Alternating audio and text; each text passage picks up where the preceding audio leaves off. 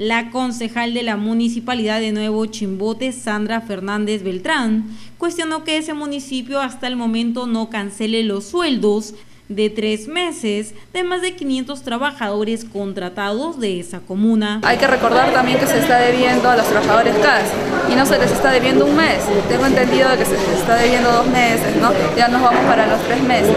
Entonces también, ¿no? Hay que pagarles, ¿no?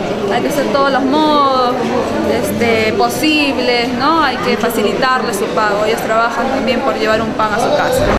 Como se recuerda, los servidores contratados de ese municipio reclaman a la gestión de Gasco Barreto que pese al tiempo transcurrido no cumplan con cancelarles sus remuneraciones. Asimismo, la concejal Sandra Fernández denunció que la comuna sureña le adeudaría más de un año a varios proveedores. Además, deslizó incluso que mientras que estos proveedores les adeuden hace tanto tiempo, habría otros a los que se le paga a tiempo, preguntándose a qué se debería el presunto favoritismo. De que todo está parejo, de que todo está muy bien, cuando la verdad no es así, pues no, se ve acá a diario.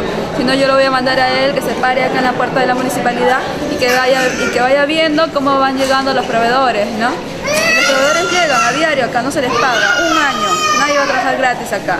Ellos han dado un requerimiento a la municipalidad, entonces la municipalidad también tiene la obligación pagarles, ¿no?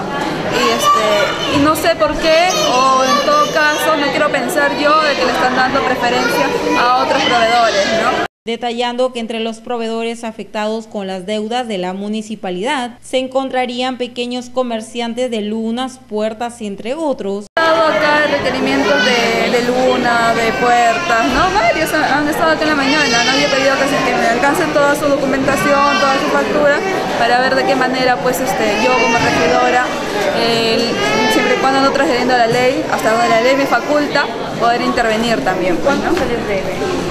Son facturas de 5.000, he podido visualizar, a, grosso modo he pedido que me alcancen todas, de 5.000, 4.000, pero así van sumando, ¿no?